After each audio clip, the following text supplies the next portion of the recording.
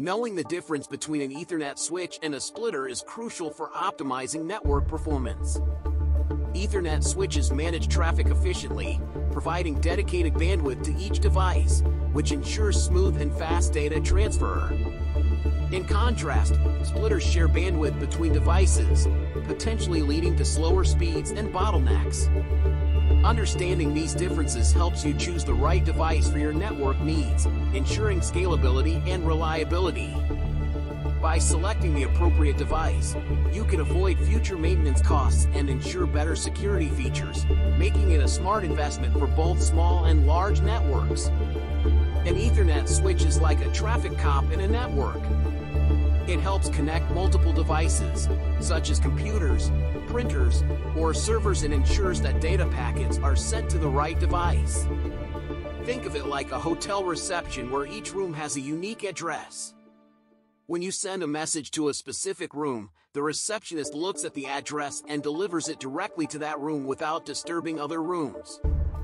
For example, if you have a home network with multiple devices like a computer, a printer, and a smart TV, an Ethernet switch allows all these devices to connect to the internet and communicate with each other efficiently.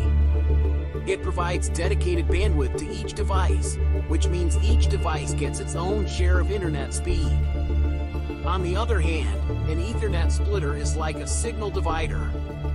It takes one Ethernet connection and splits it into two, allowing two devices to share the same cable. This is similar to using a two-way radio where two devices use the same channel but have to share the bandwidth. If one device is using a lot of bandwidth, the other might experience slower speeds. Imagine you have only one Ethernet port available on your router but you need to connect two devices, like a computer and a gaming console. An Ethernet splitter can help you connect both devices using that single port, but they will share the bandwidth.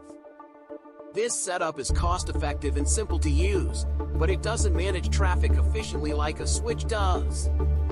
The main difference between an Ethernet switch and a splitter is how they handle connections and bandwidth. A switch connects multiple devices and gives each one dedicated bandwidth, while a splitter shares the bandwidth between two devices.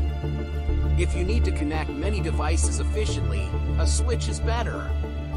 However, if you just need to connect two devices using one port, a splitter might be enough.